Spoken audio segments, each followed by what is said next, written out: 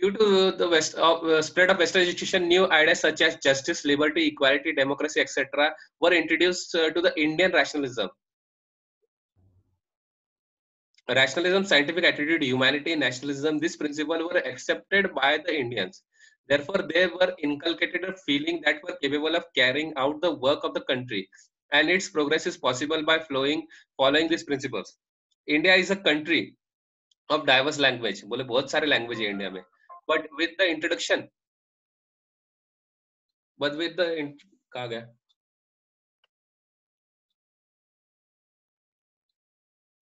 But with the introduction of English language India got a new medium of communication नई language और add हो गई India के अंदर और न्यू मीडियम ऑफ़ कम्युनिकेशन अभी लोग इंग्लिश में बात करने लग गए। इंग्लिश में, में बात करने वाले को होशियार मान जाए मानना जाएगा। Study of ancient Indian history the Asiatic was the Asiatic society was establish in Bengal by british many indians ये अंडरलाइन करो ये काम में आएगा कभी ना कभी कभी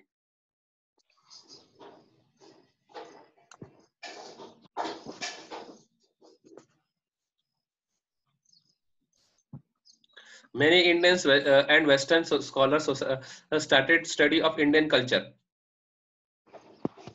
the manuscript in Sanskrit, Persian and other language examined and research was published. मतलब manuscript वगैरह जो पुराने इंडियंस के थे वो ट्रांसलेट होने लग गए और अभी पब्लिश होने लग गए। डॉक्टर भाव दाजी लैड लाड लैड नहीं वो। Doctor R G Bhandarkar the Indian scholar made intensive studies of ancient culture पुराने सभ्यता के बारे में।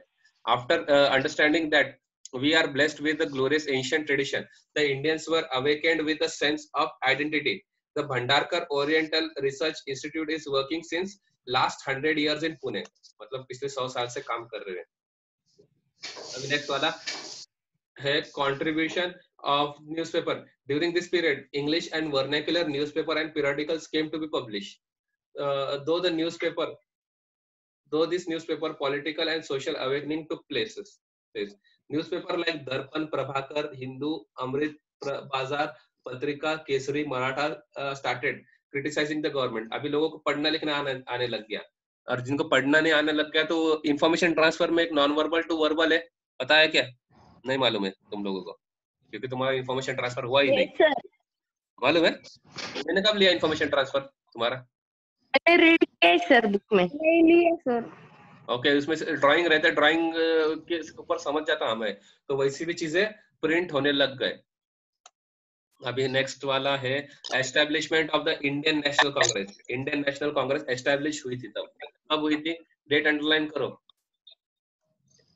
On 28 December 1885 the first session of the Indian National Congress was uh, Indian was held at Gokul Tejpal Sanskrit School in Mumbai पहले Sanskrit school ही रहते थे। 72 delegates from different provinces of India पहले स्टेट नहीं रहते थे वो प्रोविंसेस रहते थे जैसे मुंबई प्रोविंस दिल्ली प्रोविंस ऐसे रहते थे कोलकाता प्रोविंस पहले प्रोविंसेस रहते थे। Participate in the session Umesh Chandra Banerjee renowned lawyer from Kolkata was president of this session कौन था प्रेसिडेंट सेशन का? उमेश चंद्र बैनर्जी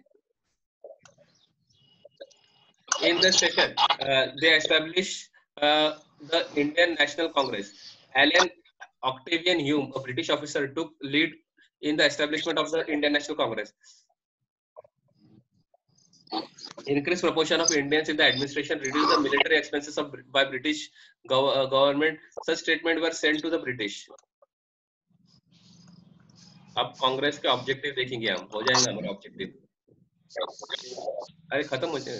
उसके बाद क्या बोलते to make the people from different parts of the India forget the difference in religion race caste language मतलब in short unity लाना। इधर लिख लो, इधर पैराग्राफ में यूनिटी लाना है कांग्रेस का ऑब्जेक्टिव था।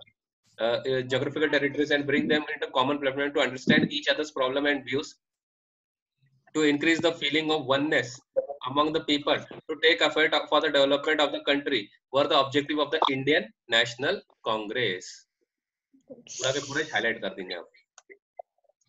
इम्पोर्टेंट पैराग्राफ तुम्हारा।